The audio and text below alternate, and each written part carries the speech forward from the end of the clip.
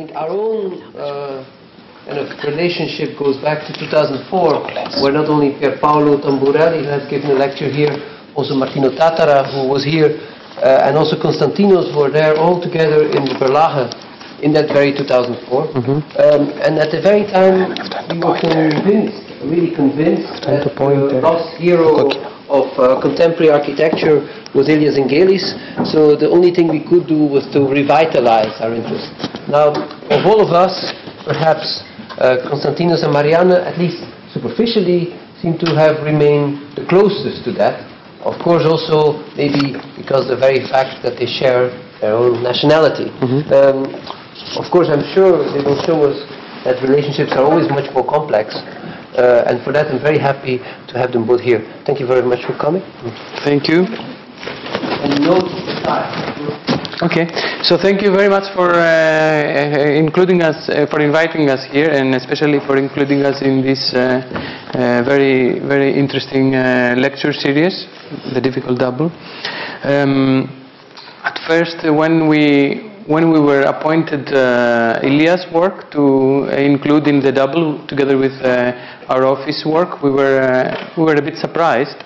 Um, we we hadn't ever uh, thought about uh, the relationships or differences or similarities between uh, oh, between our work and uh, the work of uh, Elia. But uh, after starting to develop this uh, um, discussion uh, among us, we realized that indeed there was uh, very interesting topics appearing. So we're going to be presenting you these topics tonight. Yeah. So, um. Yeah. Okay. So, the first uh, the first project that um, do I speak here or the, here? Ah. So this the. It's uh, like this now. Okay. Okay, cool. So okay, cool. Okay, so uh, the first project that uh, Elias did um, um, was um, uh, when he was uh, 11 uh, years old. Uh, it was a project which is called Desert City. So it was after a trip that he did in Johannesburg when he, went to visit his father. So he was totally astonished by the metropolitan condition that he found there. And so when he went back to Athens, he started designing a city that was to replace uh, the city of Athens. So uh, the city is uh, situated on a plateau of 2,000 uh, meters of altitude, like uh, Johannesburg, and uh, it was surrounded by the desert. So um, it was uh, an ideal city. Uh, it was surrounded by walls that uh, the, uh, the pro- were protecting uh, uh, it from the miserable life in desert. So it had um, extremely high, tall um, buildings, like 100 uh, uh, floors, even taller than the ones that he saw in the city of Johannesburg. And he had no idea of New York back then.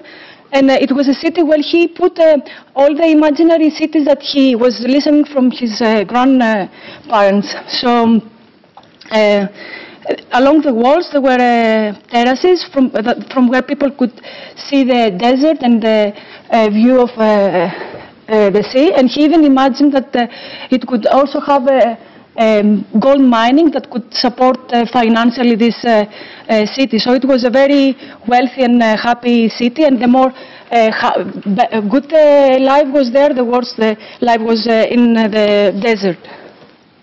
So when this is a zoom in of the his project, so he was keep drawing um, maniacally this city. For um, at least uh, uh, five years until he, it occupied the whole, his uh, whole room. So when he met uh, uh, Rem Koolhaas 30 years later, almost 30 years, with uh, his uh, diploma project Exodus, uh, the similarities of these two projects uh, were very uh, astonishing to him. So it was, he felt like uh, being uh, almost reborn again.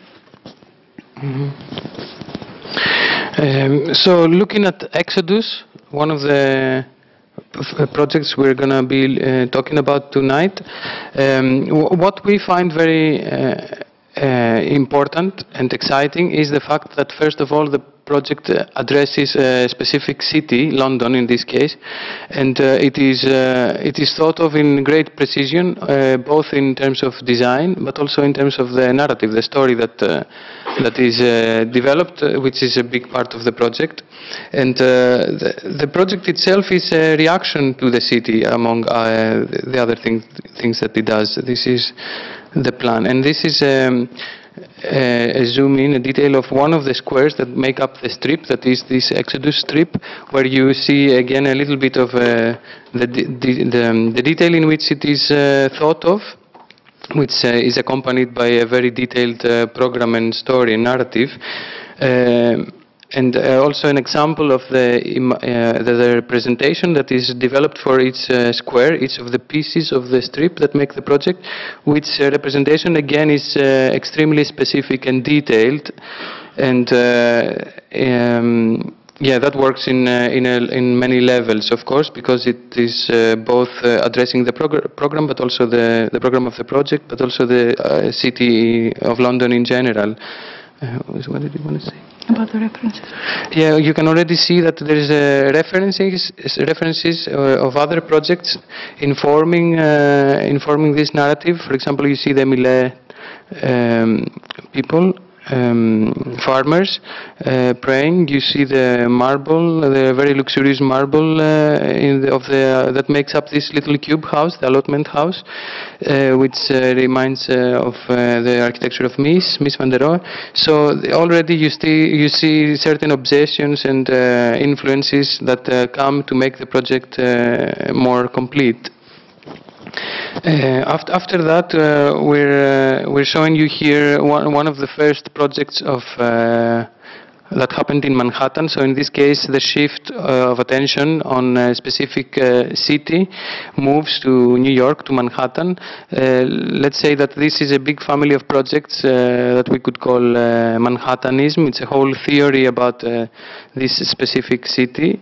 Um, these these projects are polemic and the their main uh, ambition is to uncover reality, uh, so to um, uh, project the reality that is beyond the normal reality of Manhattan and the metropolis, which is what is exciting to to them at that moment. And um, uh, surrealism ca- comes into this uh, discussion because of this uh, attempt to uncover what is hidden be- behind that uh, obvious uh, reality. Um, and uh, so in all these projects, what, what is very important is that uh, they are not about uh, composition or form, but they are as such, but they're instead about uh, performance and meaning. So the projects, the, the, the projects that we see uh, are basically careers of uh, kind of meaning. Um, so in the Egg of uh, Columbus Center, where we, which we see here, what we also find extremely important is the fact that, uh, first of all, the project includes the city in it in its uh, composition. Um, also, the fact that there are certain uh, obsessions, let's say, or references that uh, appear and repeat in this, but also all the other Manhattanism projects, as is the raft of Medusa, uh, the floating raft of Medusa to the right, uh, but also the whole Exodus project is basically uh, uh, jumping in Manhattan. So this is the Exodus strip with the Egg of Columbus Center in the middle, which used to be the reception area in. Uh, in Exodus uh, before, um, and other things. Of course, the the city of the captive globe here, um, and uh, uh, so many other um, uh, stories. And then uh, jumping into a more specific uh, project of Elia at that uh, period of Manhattanism. This is the Sphinx Hotel. Um, here again, the object is, is we can say it's reduced to its representation and performance. So the the form, the composition of the project is is merely a result of that uh, that meaning. This this project is first of all a reaction to social housing of the times of the time, uh, which was uh, not optimistic. So this is a very luxurious uh, new housing typology, basically for the city of Manhattan. But also the building is a, is a reaction to uh, the building that is sitting across the Times Square building, which you see here. We were looking at Google Earth pictures for these uh, projects, the Manhattanism projects. So on the yeah on the top side is the can you can you hear? Is this working? Is okay. So the, on the top uh, um, side is the Times building. On the lower part is uh, the Sphinx. The Sphinx is. Uh, huh? Okay, this yeah, the other way. Uh, the Sphinx is uh, directly mirroring this Times building. It's a reaction to it. Um, and also, of course, it uh, it uh, brings in mind the anthropomorphism and uh, projects like the the duck that Venturi was talking about before. Um, the drawings of it, you can also see even in the simple elevation, well not simple, but in the elevation of the building you see the raft of Medusa on the bottom right corner. And then again, uh, so many references that are absorbed in uh, this building to add to its uh, meanings and cultural, uh, to make it uh, the cultural signifier that it's uh, supposed to be. So literally, Lissitzky's tribune on the neck of the Medusa, for example, or the whole neck you see here it's it's uh, very precisely um, designed in detail uh, with uh, its uh, every part having also its own uh, narrative and uh, story behind. Um, references of the head of the Statue of Liberty and the Chrysler building on the head of it. Maybe an example of a, a specific program so what is very exciting for us in this project is that they, they st he started from the scale of the city, uh, but then uh, he uh, the, the, the, narration goes uh, into even to every detail of it. So here you see a zoom in of the head, uh, where is the, the swimming pool, and where people had to um, swim under the facade and go outside to the, the beach. And if you go even uh, closer. This is the, the bar in the, inside the, the crown. So this kind of uh, fascination with the narration in detail, it's also ex extremely exciting to us. Mm -hmm. So again, in, in the swimming pool. Uh, and uh, what is also very important is this uh, um, um uh, dialogue with uh, other elements of the city. So the, the project is never self-referential, but it has always to do with uh, what city around, around it. So in this uh, project that they, he did together with uh, Rem Koolhaas, uh, the new welfare uh, island, uh, they imagined a new type of uh, Coney Island where all the imaginary projects for Manhattan could happen all together. So it's again a, a project full of narration and references. Um, so. Mm -hmm. You can see here the welfare uh, palace, which is uh, six uh, individual towers and with one uh, lying down as a park. And here is the RCA building, which is uh, it's very jealous of, uh, of all these towers that stand there individually. So when the RCA building is approaching them, there is this crack on the grid of Manhattan, and then it's the Sphinx that just stands there completely indifferent of what's happening around it. But they were also they were also using again all their obsessions, like the, the raft of Medusa, the, uh, the swimming pool. This is the UN, uh, United Nations building by Le Corbusier, who, according to them, it was uh, a crime that it didn't follow the grid of uh, Manhattan. So it's very, it's a, even though we think that we know these projects, every time that we go back uh, to, to see them and uh, to study them, we discover uh, more and more details. So you can never read them in a, one, just uh, from the first uh, study. Zoom in again. And then an axonometric of the uh, welfare palace, and also the representation that they were using, it was almost unlimited. You always discover uh, uh, different kind of representations for uh, their projects and his projects as well. So after this uh, series, the 1975, they made the manifesto of um, uh, OMA, where again they used the egg of Columbus. Uh, it was the first time that uh, the first time that this uh, symbol appeared in their work was uh, from Zenghelis' project, and again a reference to Dali's work. So maybe also to add that uh, what we find very uh, important and exciting with all this uh, work of Manhattanism is that um, this architecture is full of polarities, of oppositions. It's, it's, it's, um, it's difficult to put down in a very simple uh, description. For example, you can say that it's very visionary, but at the same time it's, it's, uh, it's very buildable. There's nothing uh, you know, there's no super high skyscrapers or very complex technology to make to make this kind of architecture. Um, it's uh, in a way it's very simple, but in another way it's very luxurious what it proposes. Um, etc. So, so when we went back to Athens after uh, some years of uh, exile in uh, Holland, we also found ourselves being extremely uh, excited with the situation of our city, Athens. Um, so Athens to us looked like a very real and a very mythical place at the same time, a very dreamy place that seemed like it was missing a manifesto. It was, um, we, we thought that um, uh, it deserved to have its mythical aspects restored in some way. And we also felt that it deserved uh, projects that were optimistic about it.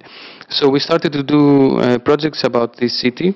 Uh, which had uh, all kinds of goals. Uh, for example, first of all, to understand understand uh, the laws uh, that it uh, it works under, to understand its identity, to communicate that identity, to create a new representation for it, to imagine its future, but also to just attack uh, its problems. So we. Oh. So we started a series of, uh, of, uh, of projects of different types. Some of them were very symbolic and ideological, polemical maybe. Um, this was uh, one where we showed Athens as a section of the typical building, the Polykatoikia, that makes up the city. Uh, like you saw in the previous picture. Uh, so in this picture we try to show all kinds of uh, programs that happen in the city, which actually all of them happen you find in Polykatoikia. So all kinds of ideologies, a bit like, uh, uh, of course, the story of uh, Manhattanism, whose point was that the metropolis is so exciting because there's all these ideologies that have left their context and have all been brought together in one place. Um, and of course, we already, not of course, but we, we started to uh, think of these projects in a kind of relation to each other, to the Acropolis, to the city as a whole. There was an exhibition uh, of uh, at the time uh, that we did with uh, a hundred uh, polykatoikias, a hundred of these buildings, uh, where we tried to answer uh, or reveal an aspect of the city through one type of uh, one new type of this uh, building uh, typology.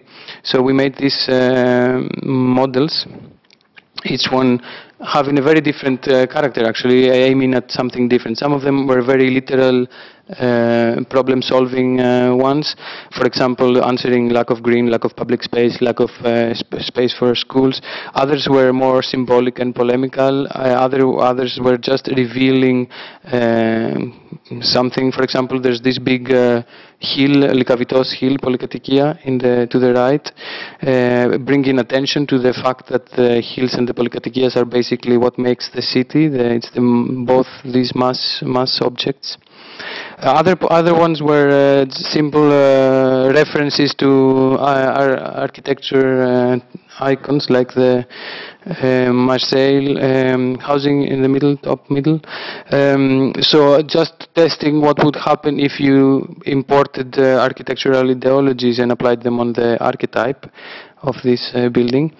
Um, while a more recent project is uh, only in Athens that deals completely with the representation and understanding of the city. So it suggests a new a new representation in the form of a touri alternative tourist campaign, where everything that would typically uh, representing Greece, like the white uh, temples um, and beaches and all that, is replaced by uh, the blind wall of the Polykatoikias that you see everywhere.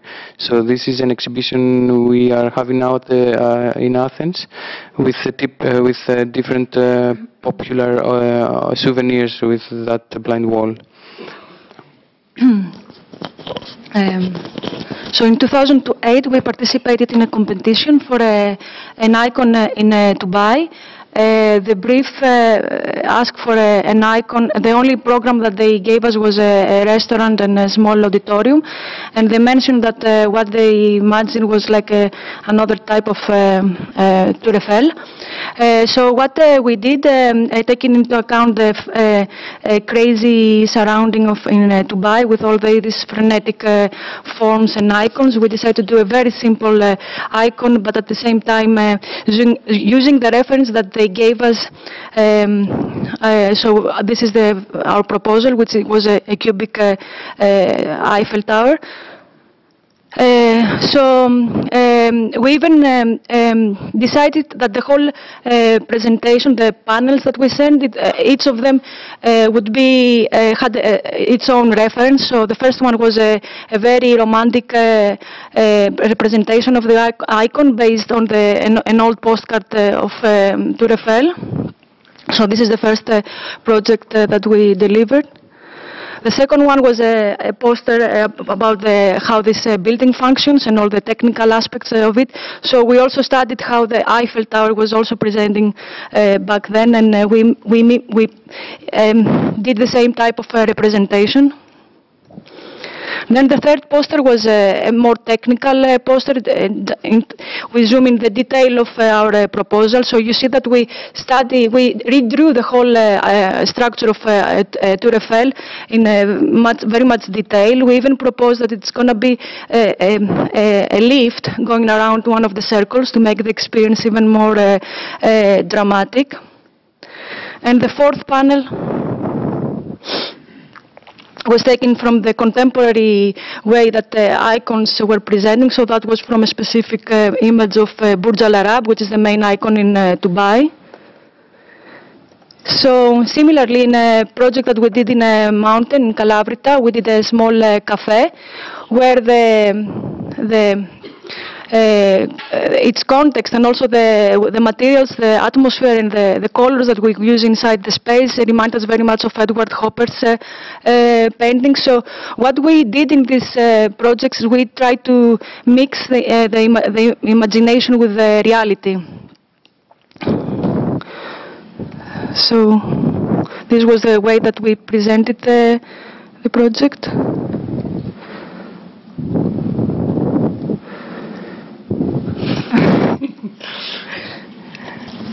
So, so we're looking at a, a, family of projects that we realized uh, would make sense to to think about tonight um, uh, in this difficult double discussion, where uh, these projects we find are very similar to the principles of Manhattanism. The first projects we looked at by Elia, uh, which were like we said, which were uh, very much focused on uh, and committed to a specific city, a situation, a reality, and the the, the ambition there was uh, from architecture was not the or the importance was not given to the form and the composition, but it was given to the meaning and the performance of the of the project, and then the form or composition came uh, came after that, or it was important as a just as a signifier of that meaning.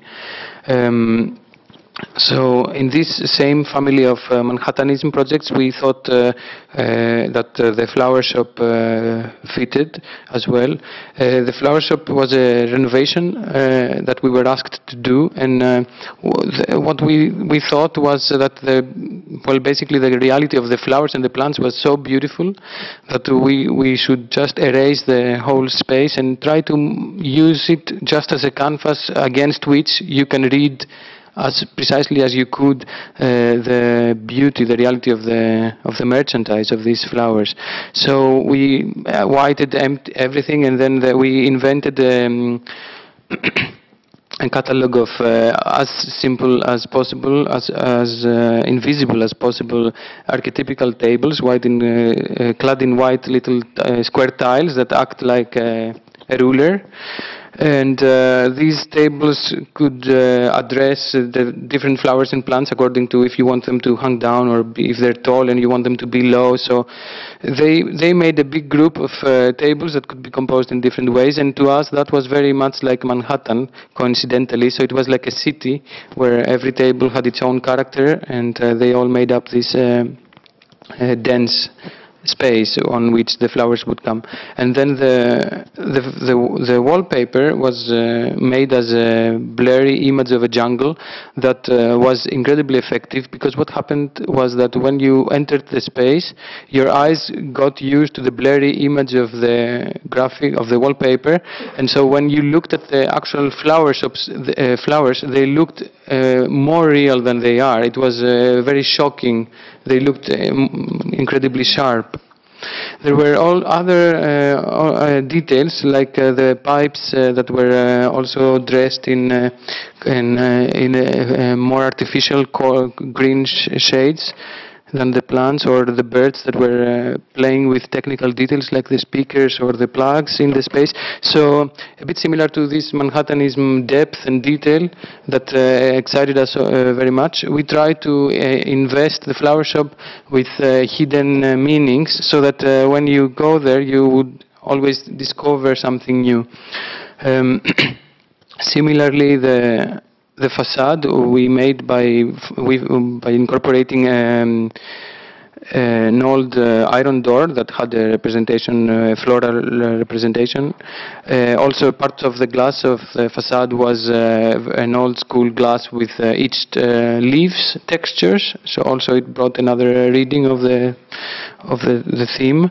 And then also as a reaction to a, a typical problem with shops in uh, Greece, which is that they consume all the territory, the, the public space around uh, by placing their merchandise, we did the opposite. We made a recess in the shop windows, so we gave some space to the public and we put a, a small bench there, so some uh, people sometimes sit on it.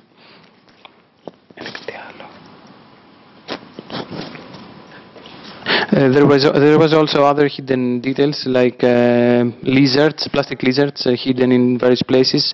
Uh, the, the, the chairs that the couple that runs the shop, there were garden chairs, and also from the speakers we had the sound of birds uh, tweeting. So actually, when you opened the door and came in, it, you had a shock uh, that it, it, looked like you entered an outside space. And uh, this this project also is very manifest of um, uh, a theme that uh, we gradually became obsessed with, which was this um, contrast, this opposition between uh, the super nature, nature in its strongest uh, uh, form, and uh, the artificial world that is, for example, a city like Athens, this very dense, completely man-made environment. So then uh, started our uh, obsession with the hills, with the mountains in Athens. We realized uh, after uh, after uh, ex exploring the polykatoikia, the building type, uh, as much as we could, we turned our attention to the hills, and we realized that actually the hills in Athens is exactly the same thing as the skyscrapers in Manhattan. So they all have their own identities, and actually it's what makes the cities character. Uh, Athens has a lot of uh, hills. Of course, the Acropolis is the most famous one, and it's the only one that uh, uh actually represents the city. Um, but there's a whole catalog of them. This is one of the long ones that uh, frames the city. So we made this image a, to make uh, ex explicit this uh, relationship we thought was uh, there between uh, the hills and the Manhattan skyscrapers. We made this uh, explicitly named tribute to Madelon uh, image where um, uh, we claim that actually Acropolis and Likavitos are having also a relationship, and uh, their offspring is the Polykatoikia, and they're sitting on this uh, continuous uh, urban fabric, and there's uh, all these other elements that repeat, like the ancient theater, Greek theater, or the olive tree, or the column and the boat, because then there's the sea. Um, yeah. So we are looking at uh, this Manhattanism category, I want to remind you. Um, we've been doing a series of uh, projects with the hills. Uh, this was um, the Athens, the so-called Athens by Hills, where we uh, um, cataloged, we precisely cataloged all the hills in the city and uh, looked at their program, their um, qualities, uh, their properties, their sizes, uh, the way you get there, what you do when you go when you go there, and basically we proposed that to, to extract to reveal this hidden reality, this uh, identity, by adding program that ex extends or reveals the program that is uh, latent, uh, like there already. Uh, so yeah, so this was uh, some projects, uh, some images of the project. This was a wor working model when we were testing uh, these uh, hills relationships. It was about the relationships of the hills between them and the relationship uh, of of them and the city as a whole. work, well, this was a working plan and some uh, images of uh, different hills looking at uh, each other. And uh, what was exciting about this project was the possibility of introducing um, different uh, identities that would, uh, of course, have uh, uh, polarities, oppositions between them. For example, Athens has this um, ancient Greek uh, icon of Acropolis sitting in the middle, so we thought it would be so fascinating if we added contemporary and light and temporary programs like, the, like a Ferris wheel on top of the Lycabettos hill. And uh, then uh, if, if we zoom out and look at Athens as a whole, we of course uh, remember that Athens is surrounded by water on basically on three sides. Uh, so we realized at some point that the hills that are uh, spread in the city fabric of Athens actually are not much different than the islands that uh, extend on the Aegean archipelago. So we started looking at hills as islands and Athens as a sea. Um, yes, next. So uh, we did this um, map showing the relationships of all the islands between them, but including Acropolis as an island. This is part of this uh, exhibition we're having now. And an image showing the same thing, showing the Acropolis as an extension of the archipelago, basically or the typical uh, table uh, island tablecloth showing Athens as an island. So taken out, uh, detached from the mainland on the one side. Mm -hmm. So um, thinking about um, um, our way of uh, representing our ideas and uh, uh, what Elias uh, was uh, doing, we, we realized that uh, because our, our target group is the people, the citizens of Athens, we are very much keen to use very popular, let's say, representation. So, for example, this is very much based on the tablecloths that all the people in Greece know, so that we can um, communicate, give the message as uh, uh, clearly as uh, possible. So going back to Elias, uh, back in the 1975 until the 1980s almost, uh, they he teach it, he teach together with um, Koolhaas at the AA school, and they had a, unit uh, number nine where they had. Um, they had a different uh, type of uh, agendas, uh, like uh, the tectonics uh, or the, the pool as an urban uh, type or housing in Miami, blah, blah. and what they wanted to do in this unit that actually also influenced their work later was that they wanted to um, to uh, find an architecture that could accommodate the culture of uh, congestion that they were uh, studying in Manhattan, but in a more in a formally sophisticated structures. So actually what they did there, for example, that was the tectonics, the first exercise that they gave to the students.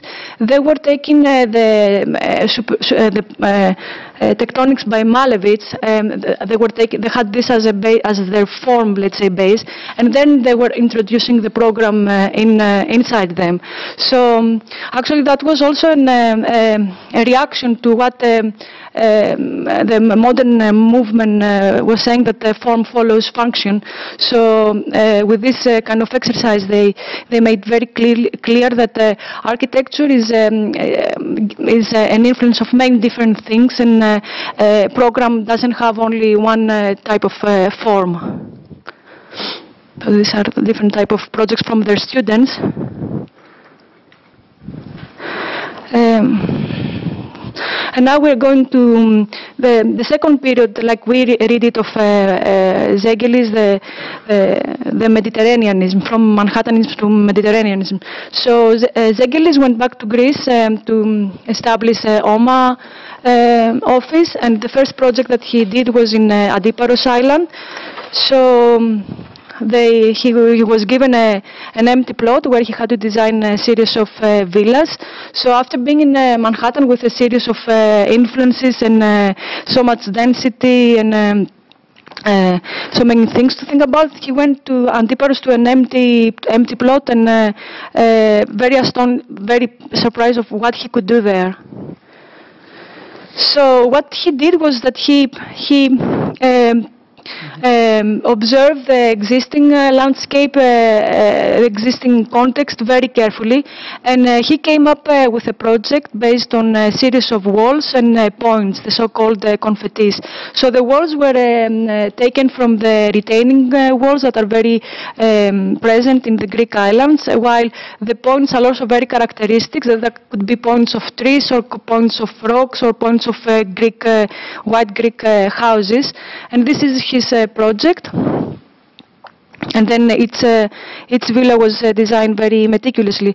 So uh, he he tried to invent uh, uh, uh, a maximum of impact, but with a minimum of tools. And it was the first time that a more metropolitan condition was applied to an Arcadian condition. Um, so he he anima- he tried to animate uh, the landscape so that the landscape becomes uh, uh, architecture. Uh, but uh, he, di- he didn't want to invade, invade the landscape, just to, to make it, um to colonize it. So, after uh, ah, Yeah, Okay. Um, so in these Mediterraneanism, let's call them projects, there is a shift from uh, the Manhattanism because uh, now it's composition and form that become important. But uh, the interesting thing is that this composition happens with very in a very precise way, together with the reality that is found on these places, on the islands.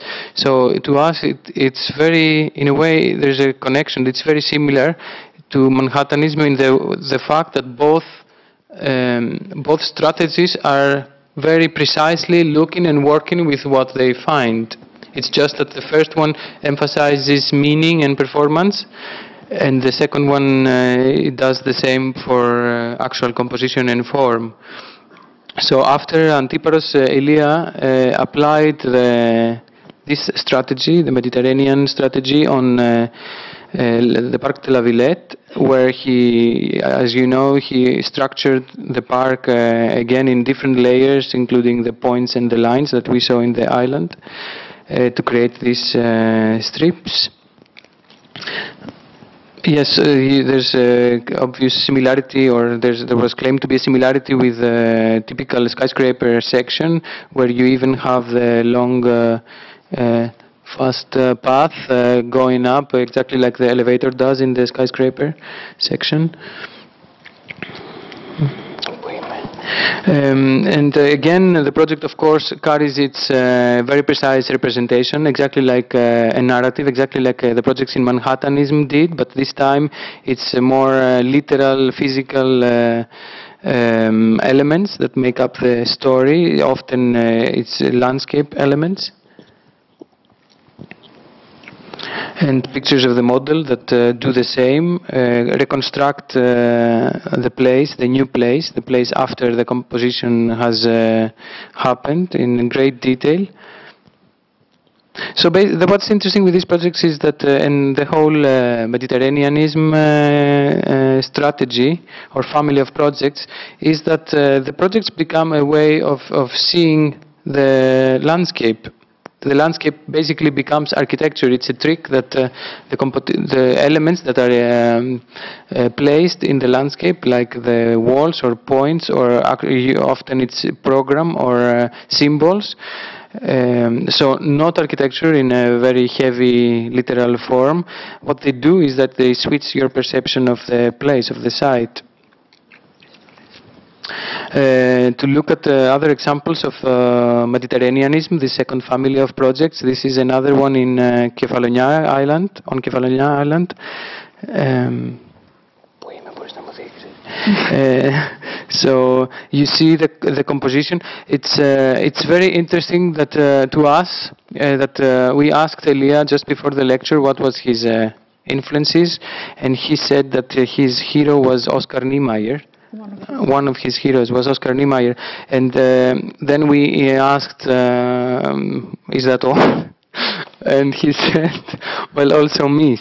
And then working, working with, uh, looking at the, studying these projects, we realized that basically it's exactly these two things that you can uh, very easily um, uh, find because you get the hedonistic, pleasurable, you know, beautiful, uh, free-form architecture of uh, of Oscar Niemeyer. But in the case of Ilia, it works together with the territory, with the landscape, the reality, let's say, found. And also from uh, Mies, you can very easily see the elements like the curtain wall or the surface, the, uh, the basically the free, free plan. Um, another project. Oh. So this, the, the, uh, we're going to do a small description of the previous uh, project. Just, uh, it's mainly useful for the the, uh, the, the students that uh, with the um, studio studio you have now. So uh, this is the previous project we were looking in uh, Makris Gialos in Kefalonia. So it's in a very dramatic landscape. So you have to go down to the beach from a very from a very dramatic topography. So um, Elias did this. Um, uh, composition of uh, paths and uh, program.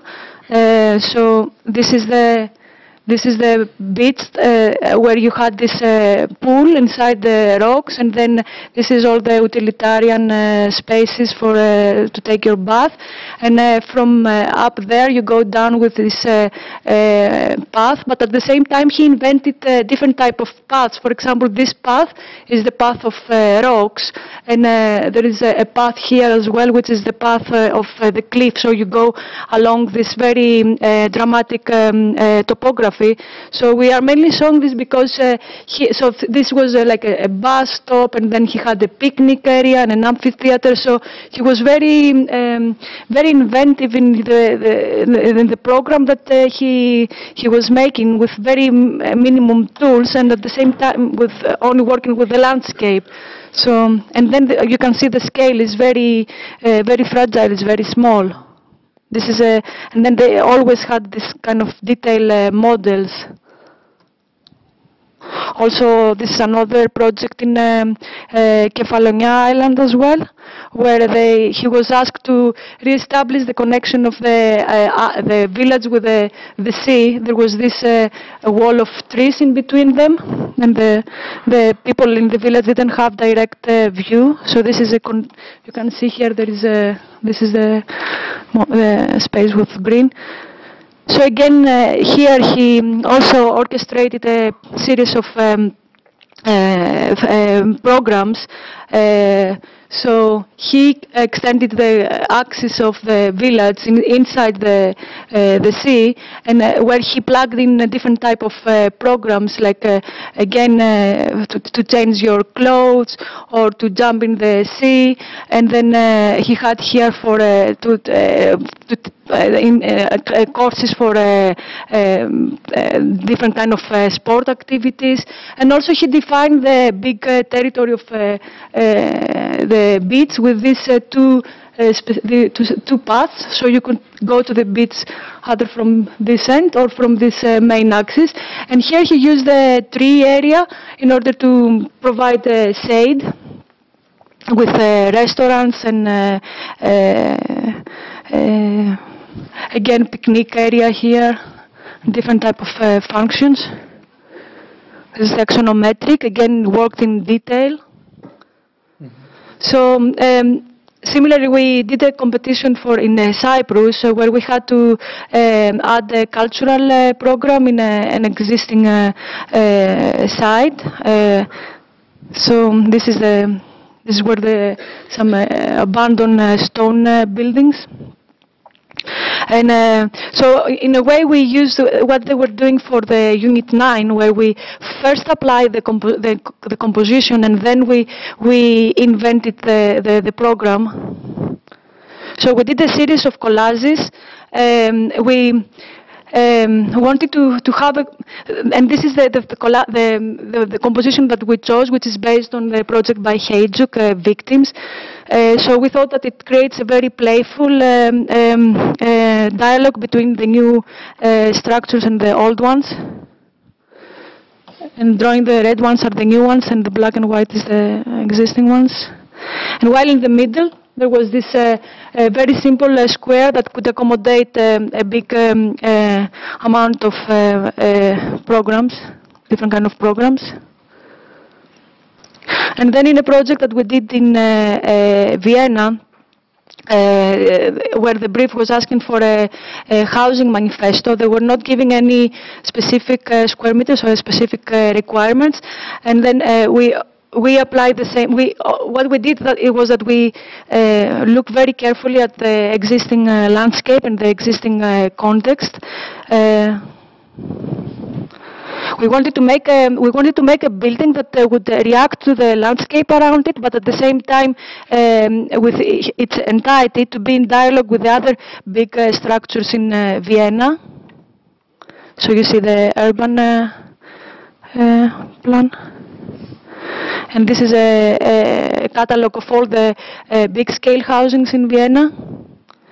So instead of um, uh, inv inventing a new type of uh, housing manifesto, what we did is that we collect all the housing manifestos in, a, in, a, in this uh, proposal. So each part reacts to the landscape. This is the context, sorry, this is along the high highway. Uh, and uh, this is uh, uh next to the uh, uh, cemetery and a park with very curved paths. this one reacts to the big scale projects, the big, small scale housing units that uh, seated here, while this tail creates an, a very specific entrance to the whole uh, uh, project. And um, in uh, each of these uh, parts, we use a different type of uh, housing manifesto. So this is a, a curved unité d'habitation by Le Corbusier. This is by Safdie. this is a typical row housing in Amsterdam. And where all these typologies they were meeting, we were creating we created this type of uh, public uh, notes that were taken from projects from Palladio and other type of uh, villas. So this is a collage of all the typologies that we used. And inside view. Uh, okay, um, so again, uh, looking at the project by Elia, uh, in this uh, category of um, Mediterraneanism, this was uh, the plane, uh, again in, Kefal in Kefalonia, a sacred plane. There's a um, sorry. Uh, there's a church in the center here, and the city is here. And every year, once a year, there's a big uh, celebration of a saint. So it, this place gets invaded with people and programs just for a day. So what he did was uh, with the minimum means. So by basically making a wall, an enclosure here, uh, sorry, and here, and then also here, defining these territories and probably uh, planting uh, more densely this axis to make it uh, uh, more explicit. Um, he created this uh, project. Um, yeah, you see the same in plan and then model. It's it was of course very elaborate, very detailed the representation also very evocative and you see how the project is such a small part of the of the landscape, of the context of the place of the reality found, and uh, it, it, just uh, transformed, or it mostly transformed the way that you look at this uh, place, uh, the whole place. Uh, this is one of the sketches of uh, the different scenarios of the program. You see again how imaginative and rich and precise he got. This is, we find it extremely in interesting. And uh, another, I think, last one project of this uh, category, um, Mediterraneanism, was uh, this one, uh, the Koutavos Bay in Kefalonia, the same island, where uh, basically the project activated or invested invent, invested with program this uh, water, the bay and, and its perimeter. Um, so there was uh, all kinds of programs and uh, different situations uh, happening around. As you see in the model, again, it's uh, very precisely uh, thought it's uh, it's uh, very it's fascinating here that uh, uh Elias even uh, describes the traces that the movable structures he proposed inside the the, the, water as a as a type of architecture. So even this kind of detail is used as a as a tool to to create to to add to the co composition. So it was a, a a project was like another type of Coney Island with different type of uh, parks, like a sport park and an educational park, and inside there there was an, uh, the aquatic park. And um, he imagined with all this, uh, the traces and the position of this um, uh, stable and movable uh, object, um, they would create a, a dance of an, a, a, nautical, aquatic, aquatic dance. So always the narrations, uh, the narration, the narrative uh, behind his uh, projects. Mm -hmm. So this is a detail, am amazing detail of his model. Just some dots. Mm -hmm. Uh, so we we thought this project is very similar, of course, uh, or our project for uh, Faliro pier is very similar to this strategy, where um, the project is not a, a form, but uh, it's a, it's a program and a way to an attempt to change the way that you see, you look at the brief, you look at the situation. This was a competition for, uh, it was asking for an icon building on the coast of Athens. Um, so instead of an icon, a form, we, we proposed a strategy which was to invest a program, water-related program on the coast so that you, you, you basically we used the point of the icon they were asking for uh, to make a station where a ferry boat would be parked and the ferry boat could have uh, different programs. Uh, so it could travel to the neighbor uh, islands with uh, performances or seminars or weddings happening on it. And at the same time on the two the two sides of the um, of the station. There would be water taxis leaving and going to the different beaches uh, along the coastline of Athens.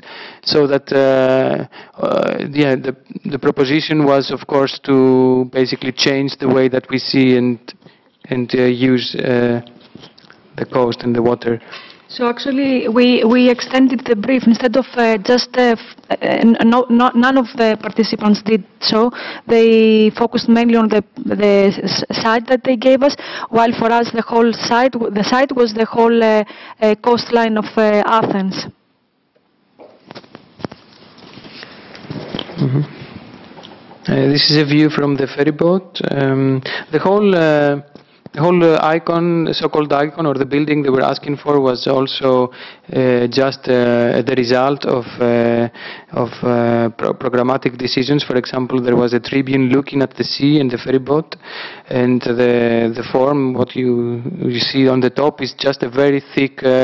Uh, shadow uh, canopy to create a thick shadow because in the summer of course it's extremely uh, warm to, to to be there and uh, there were uh, a lot of uh, hidden references and influences of hidden in the project. For example, the pattern was coming from a Greek painter Gonopoulos uh, and his uh, graphic floors, but also the graphic language uh, that you find in marine structures, so that the whole thing became like um, one of these little objects, the floating objects in the water, supposedly.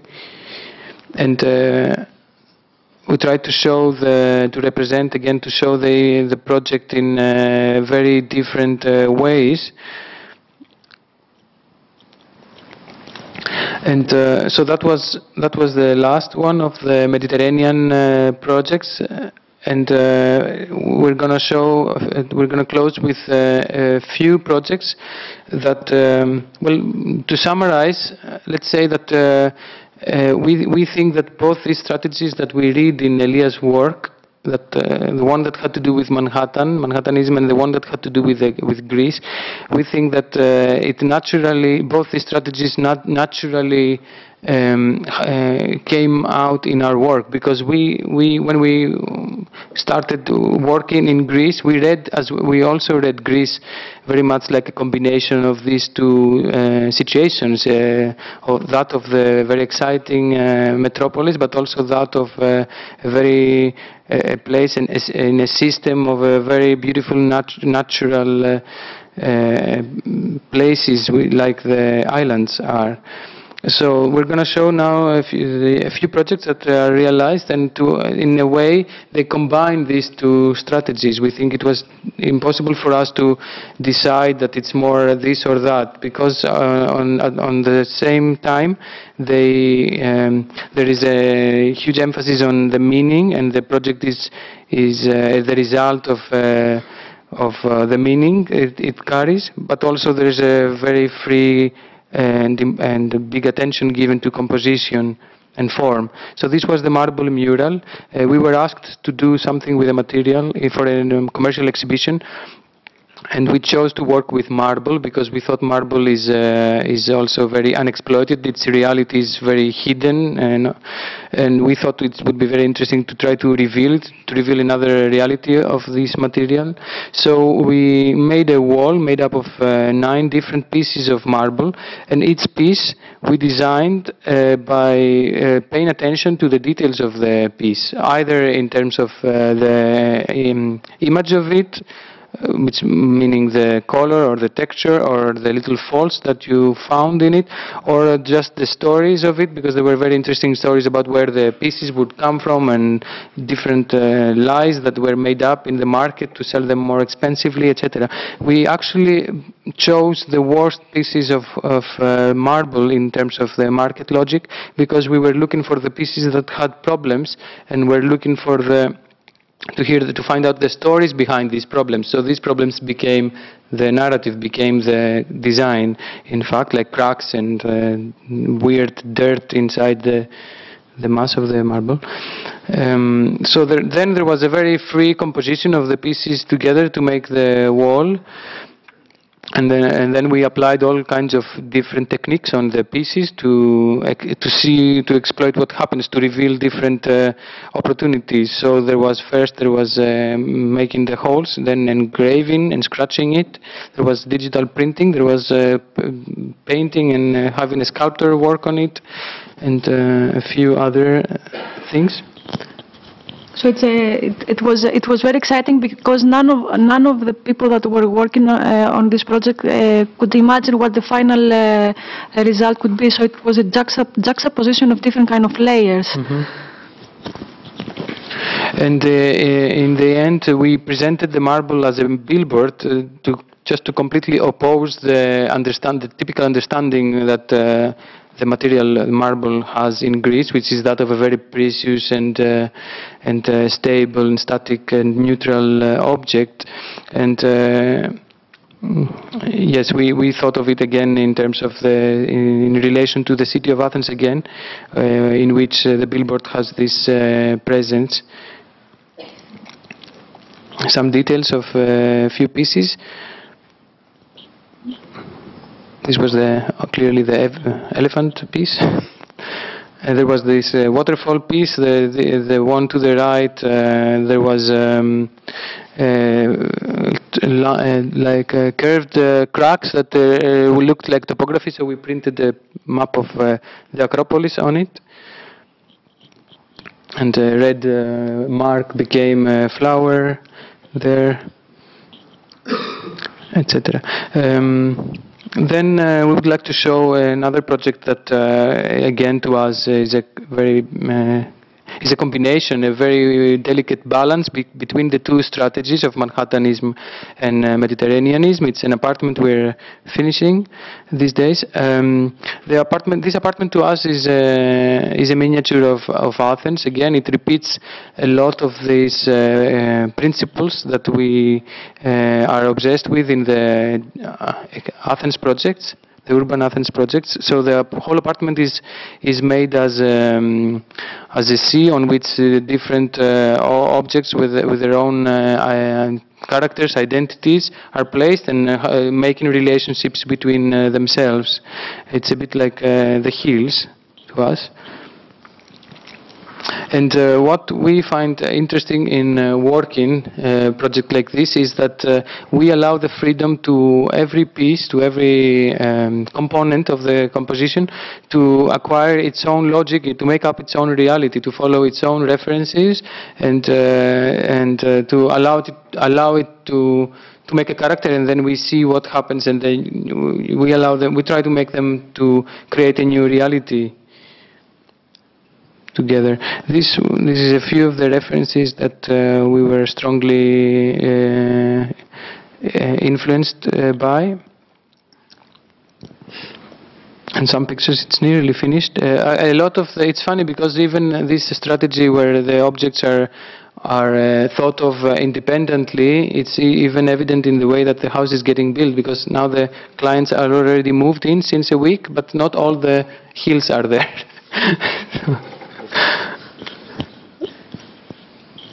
and um, yes, also it's a two floors apartment, so both floors are completely different in their their logic and their uh, meanings. So the, the lower one is much more marine-like, and the top one is more like uh, a hilly one.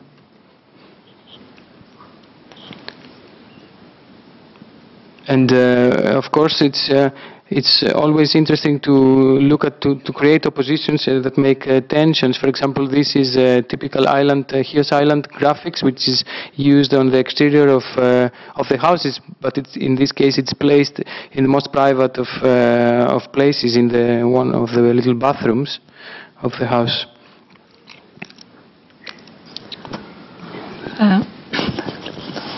Uh, so this is um, uh, another project which is under construction. It's in the center uh, of Athens. Uh, there is an existing uh, ground floor and then uh, two more floors are added uh, on, on, top.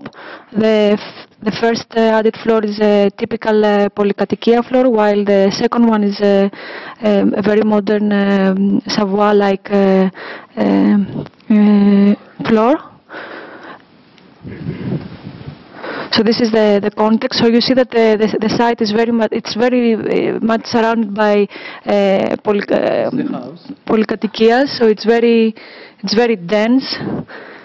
And uh, the, the, project, the, the, final solution is very, very contextual, but at the same time, it uh, carries a lot of um, uh, references and uh, meanings. And at the end, the, the, the result, we hope it's gonna, it's gonna be quite uh, ambiguous. So this is the, some of the sketches that uh, we were doing for this uh, house, uh, where its surface um, uh, carries uh, another identity um, and uh, ideology.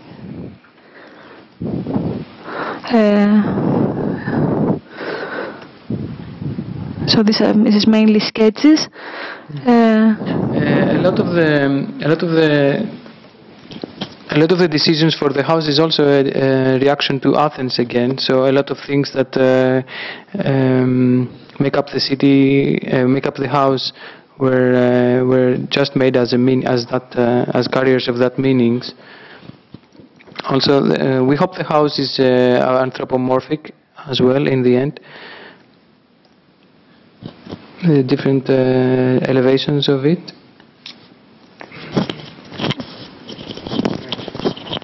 So these are the different type of uh, facades, um, where the, the, frontal facade is again a combination of eh, eh, a, a polykatoikia, but also an old um, Athenian house and a villa and a modern floor on top, while the other ones carry meanings from islands.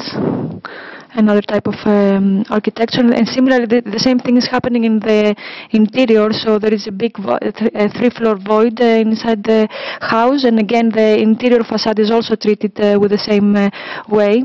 And it's also interesting to work this kind of projects um, because we, we worked each part uh, uh, individually. So you, each part is designed in a big detail, uh, and then the composition of the whole is quite complicated.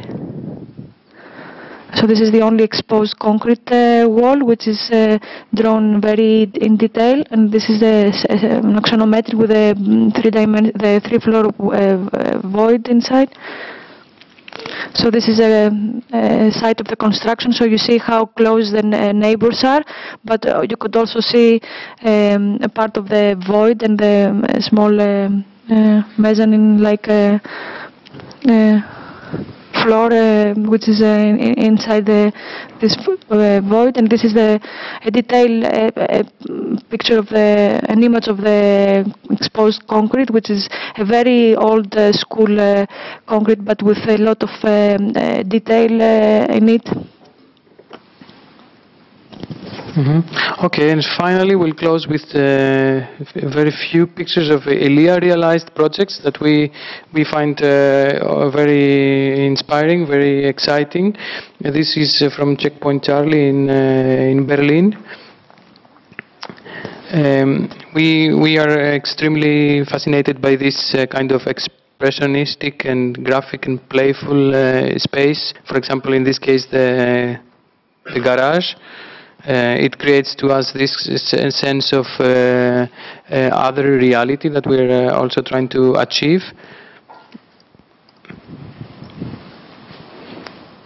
Mm -hmm. You see again how a space uh, normally overlooked, like a parking garage, can, uh, in our uh, in our view, become so rich in meaning and and excitement, and and um, so close to both actually the Manhattanism and the Mediterraneanism um, strategies of meaning but also composition, rich composition.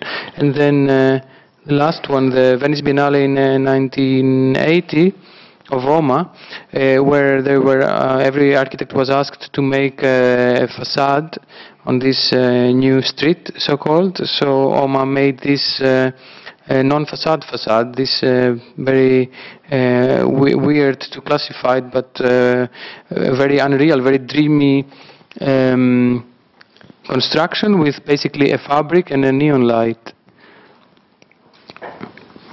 Hmm. Yeah, so you, you, you could see the, the contradiction to the other facades that the other uh, uh architects uh, uh, made. So uh, what uh, Elias and Rem did back then was a, a very undefined facade, kind of very surreal in a way. Mm. Thank you.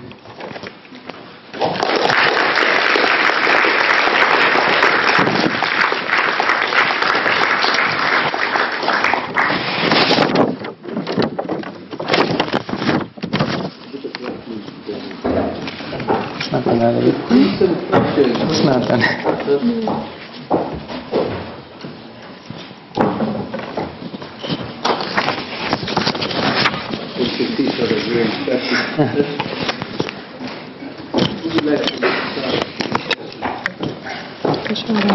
Yeah, I like the kind of comment. Yeah.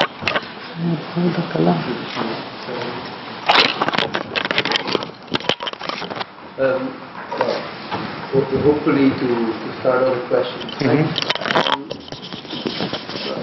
I, was wondering, more of an informative question, but to what extent are references important for you? Well, you show them all the time. Mm -hmm. Of course, it's part of the game of today, of this lecture. At the same time, I realized that in the, the, the discourse Manhattanism, Mediterraneanism, um, at a certain point you touch uh, the Manhattanist project and you say, look, it's a place where all ideologies come, mm-hmm. uh, undone from their meaning to a certain extent, and they can freely develop.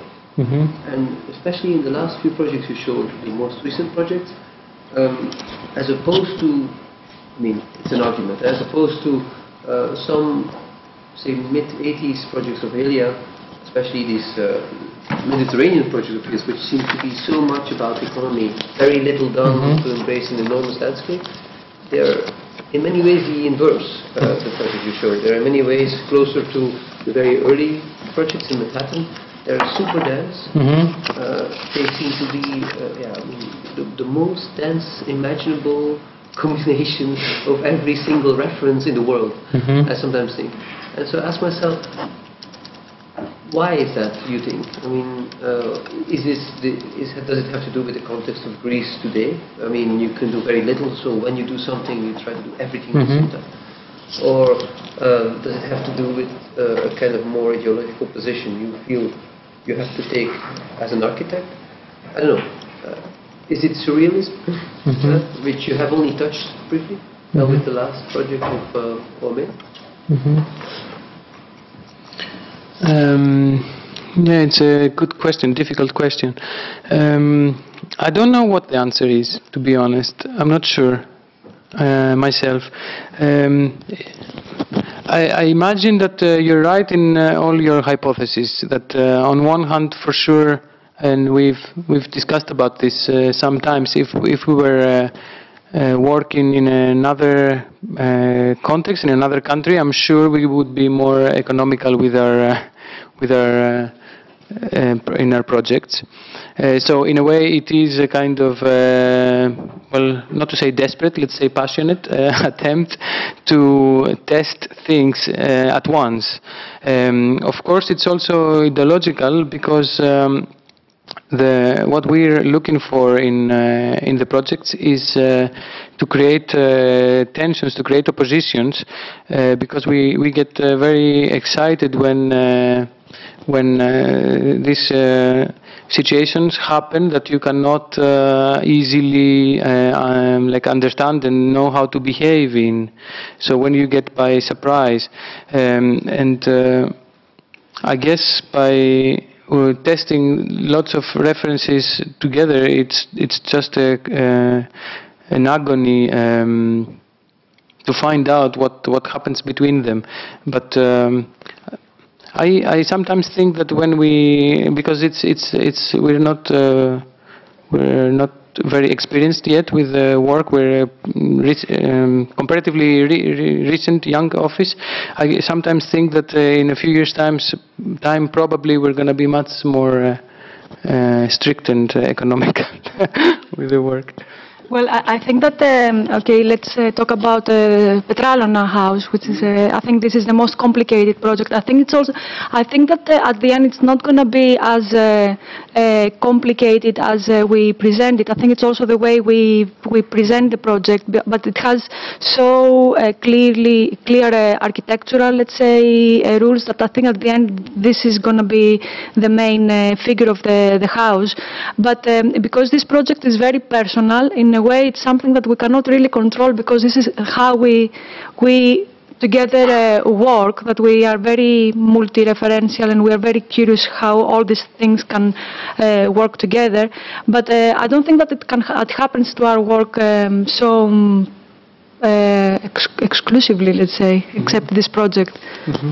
But uh, now that I had a few more moments to think about it, um, I I really think that actually it's uh, to a huge extent it's a reaction to the Greek situation, not in terms of the lack of uh, opportunity, but in terms of the lack of uh, such a way of thinking among architects, because uh, we we think. I don't think it's only in Greece, eh? Maybe, maybe not, but but uh, I mean, look at uh, where we are in Lausanne. Right, Uh, you walk outside, and every mm, architecture has an uh, not every architecture, but architecture has an ideology. uh, Space has meanings. You know, you find meanings. You, there is there is uh, that. If you walk in Greece, you see structures made of civil engineers, and then architecture follows on that. Uh, on that. So I think it's also a desperate attempt to inform, to enrich the environment with meanings.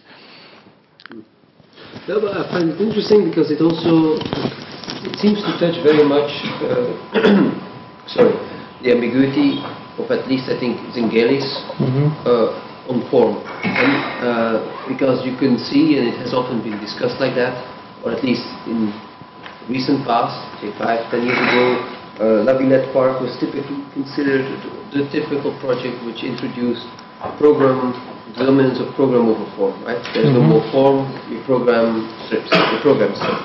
It became a desperate uh, discourse in Holland in the 90s and the 2000s.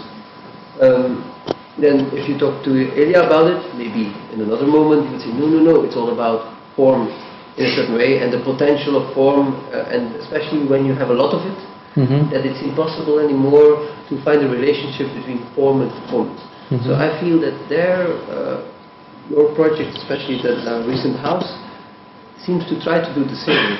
Uh, On the one hand, it celebrates form and its potential, but it knows that if it puts enough in the same basket, at the same time, any direct relationship will be gone.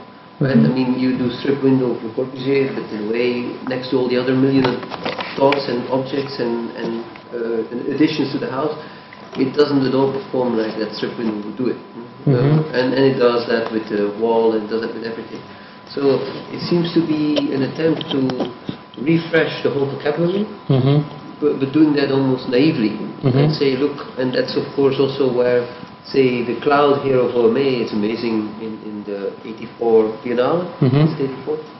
Um, which, uh, which is like, look, we, the, the, cloud is all the architectures at once, and it does not seem to say that they know what is the possible right answer to facade.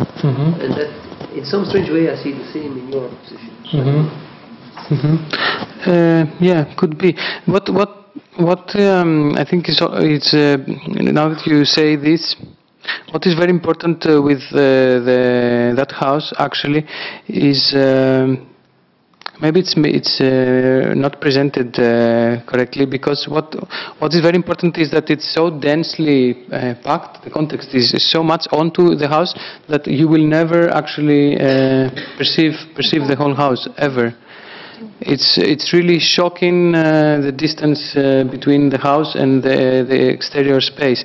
So it's a bit uh, misleading to be looking at elevations because actually you will never ever see these things and uh, we we even get tricked sometimes because we are looking at the model which is built without the context and uh, it's just not the case um, but uh, okay ignoring this uh, thing about the context and the fact that it's it's not like that if we if we just judge the architecture of the house, it's true that it's very dangerous. This um, over overload overload of, of of meaning, let's say. Um, we'll have to see. I don't know. Sorry, I have to catch them in their doubtful moments, that's another question. Please tell us uh, some of your thoughts. Please. Anyway? I can, I can.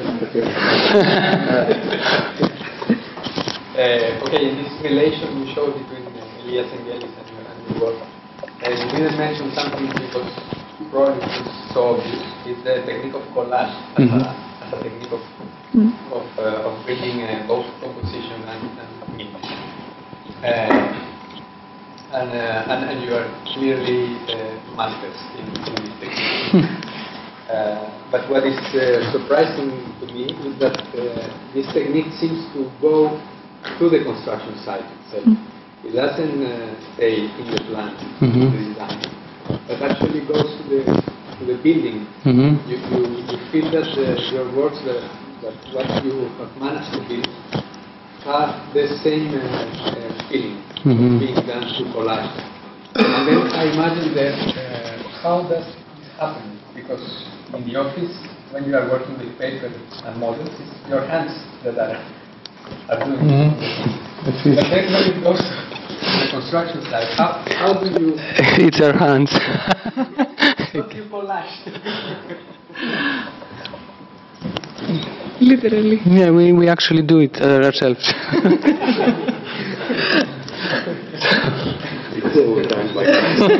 it's, so, it's so true, actually.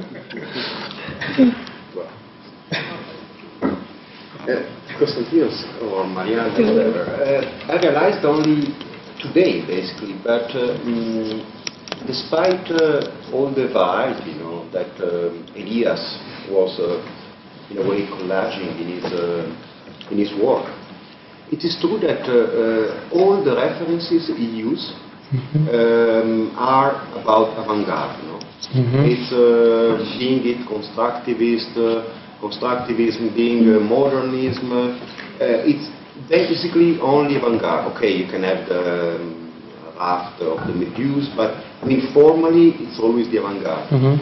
And um, why, for example, if I look at your work, uh, for you everything is is fine. You, know? you can use uh, the, the Tour Eiffel, you can use uh, the so-called vernacular from the highlands, uh, and uh, so I mean the, the, the question is. Uh, how, how do you choose in the end? No? Because it's again part of this uh, this um, abundance. No?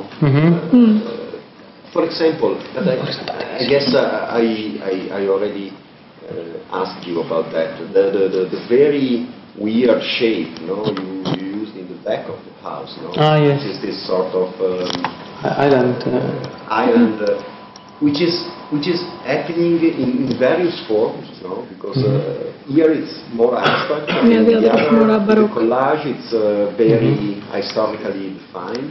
mhm. I mean, how do you choose? How do you pick up? How do you?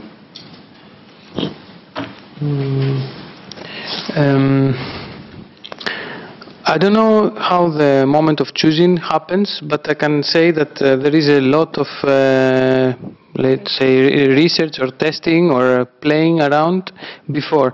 Uh, but um, uh, somehow I think magically we always know what the right one is. It really works. It's very in, in, in, Intuitive. Intuitive. It's intuitive, but um, I think that's um, uh, that's the thing I'm the most happy about working on all these projects in our office is because we are um, we are working as a team and we we really work together on everything. And uh, even this lecture, for example, um, it's um, it really works if I mean I'm, I'm not saying that the lecture worked tonight per se, but uh, it it works really different and at least very much better if we both work on uh, on anything because we have a very different uh, view on it always. So it's never automatic. Uh, what you're asking for this uh, island thing it's never that uh, me or Marianna came up with the idea to have uh, the island uh, uh, back wall. Usually what happens is that i come with an idea and then Marianna comes with another idea and then we look at each other and we both say the the idea which is another one. But it, it is born from the the our individual views on it right? I think so, that's how it happens. So it's it's uh, it's it's um, not possible for for me to. It's Uh, very difficult to explain because it really happens automatically, like Konstantinos explained. So uh, it's yeah, I cannot uh, really justify it in a, in a way. So, but uh, but of course uh, we have some like uh, sometimes there is a base. For example, like the, the Tour Eiffel- the Dubai icon was very clear to us, or sometimes you have a, a tool to work uh, with or the tablecloth very very clearly. But and like we said before, we are very happy to address to the simple uh, Athenian people. So for us, it's also very important to be simple in uh, the references we use.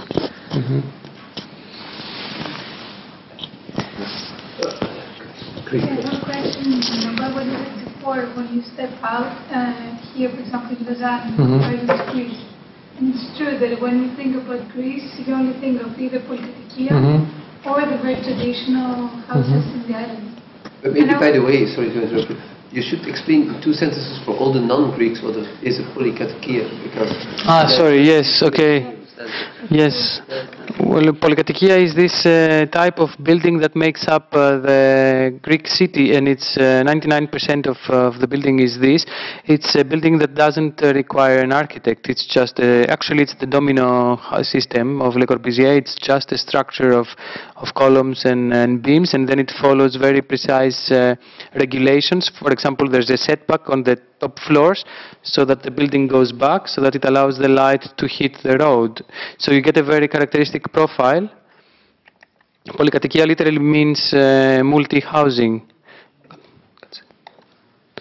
Uh, so it's this uh, thing that you see everywhere. It's really everywhere. Mm-hmm. No, I'm just wondering, why is there this lack of architecture? For example, I found very uh, weird the fact that to- whoever I mentioned in the names in Greece, no one knew him. I mean, everyone knows, uh, Mhm. I know Pete Jones, Koulinis, but maybe no one, at least from my Yeah, it's true. members. It's true, nobody knows Zenghelis, and we never knew Zenghelis while we studied in Greece. We only heard of him after we were uh, in Holland. Also the Doxiadis as well. That was quite of a shock. So th- this is uh, what we mentioned before, or what I mentioned, I think, um, that uh, why we have this um, aggressive reaction towards uh, the lack of uh, meaning, the lack of uh, of uh, architecture, basically, and maybe sometimes our work is. A bit extreme in that sense. Now, the, the reason why nobody knows the Zenghelis or why there's no architecture and there's polykatoikia, I think it's it's socio-economical and political. Um, if if you want me to explain, for imagine that uh, Athens had to be built very suddenly and very fast. You know the story. There was very small plots. There was no money. So what happened was that there was uh, deals between developer and owner of the plot. So the developer uh, would put the work and the owner of the plot would give the plot. And there was this very simple structure that just needed a, an engineer to be done. And this uh, structure proved to be very uh, intelligent and very um, successful uh, so that now everybody's just doing it of course. To do something else will either cost a lot more money um, or yeah, because this is the full, uh, how to say, the full exploitation of the economic capacity that uh, any plot uh, gives you. Eh? It's a, just the full building of the allowed volume, so it's very difficult to fight fight with this type. That's why we also were doing all this uh, series of projects about it because we were trying to uh, invent meaning for it, basically. Uh, I, I wanted to say something about uh, your question. Uh, how come we? How? Uh, what? Um, how, how we choose our references? Um, I want to say that we, uh, I think most of our projects uh, are born from uh, our intuition. So, um, at the moment that we feel uh, um, good with an idea or with a sketch or with a position, uh, it's very difficult for us to escape uh, escape for it. And I'm mainly saying that from for the students that you have to to trust your uh, intuition. So uh, when we feel good about something, uh, we try not to test different type of things, but to take this first uh, uh, thing, let's say, and uh, elaborate it in uh, detail instead of uh, looking and uh, researching more and more and more uh, options. And this is something that I think it happens to more of the uh, most of the architects. So it's a matter of uh, realizing it and uh, take advantage of it in a way. Can you then just, uh, because uh, then to go back to this uh, question from the beginning, how do you pronounce your name? Actually, your name is, uh, if I'm not wrong, uh, from a quote, you know, from Yeah. surrealist from Breton or uh, that's from Andre Breton. And uh, you you are often, often also mentioning this um, this uh, other spaces or uh, that. Um, of course, I mean, many surrealist uh, references as well. So, do you think that architecture, in a way, is um, always, or are you trying to always reach this otherness in your architecture, and uh, how important is that you? Yeah, well, we always do indeed, and it's very important to us, but uh, it's also true that uh, if we were not practicing in Greece, it would probably not be the case. I don't believe it. No? Maybe I, maybe it's not. I don't know. We did a project in Mhm. 2004 Okay. Brussels. Okay. It was only Magritte we discussed it before. Yes, okay, that's true. It's another surrealism. Whoops. But, uh, I mean, it's always been there. Uh, Yeah. And it's even true that, you know, uh, quite some of the, say, whether it's the Hockney or the Magritte or, or quite some of these, say, constant elements keep on returning. So it's, it's as if, not unlike, I think, Zenghelis to a certain extent, although I would doubt about this Greek project, but that's another discussion. Uh, it's like you accumulate a whole set of universes, uh, which, not unlike Surrealists did, uh, create a universe which gradually becomes yours. So, is it so Greek, everything you're doing? I doubt about that. hmm Yeah, maybe you're right. Yeah, but the Greek context definitely feed it. I mean, I don't know, maybe if we were living abroad, maybe we were slowly taken by what's happening there, but being in Greece, these contradictions are so vivid that uh, at least it, it keeps, al- it, it stays alive, let's say, in a way. But would you then argue that your, which is somehow what you visualize, your Athens uh, is, or say your Manhattan is Athens, in that sense that Koolhaas being a Dutch architect, because we talk Zenghelis now, of course, but we cannot talk Zenghelis without Koolhaas in many ways, because the early Zenghelis work is also the early Koolhaas work, with some exceptions. Huh? And, and it's even true that the intensity of work, uh, which is very much in this, uh, say, Manhattan projects, and probably also in Checkpoint Charlie, which is also a project with disputed uh, authorship, um, is may- maybe less there, very different in the, in the, the Greek projects, as you've shown them, uh, because they're much lighter in a sense, they're much more open-ended, uh, much more landscape-oriented. Uh, the, the, say, the early OMA projects in Gilly Schoolhouse uh, have this celebration of Manhattan, but not necessarily in Manhattan. It could be anywhere. It could be in Berlin, it could be in Holland, uh, it could be, I mean, so in many ways, uh, it's their surrealist trick. Right? It's uh, that parallel universe which they needed to have in order to develop a, a proper, how would I call that, um, work. And I, feel that your discourse on polykatoikia, your discourse on um, Athens and the landscape, uh, the islands of Athens, uh, the sea, and, and so forth, uh, they gradually start to, to, how to say, create uh, a place in which your projects can exist. But whether they exist in Athens or not, maybe that's not so important anymore. I don't know. Um, yeah. No, it's, No, uh, it's very interesting to think about, but I don't know the answer.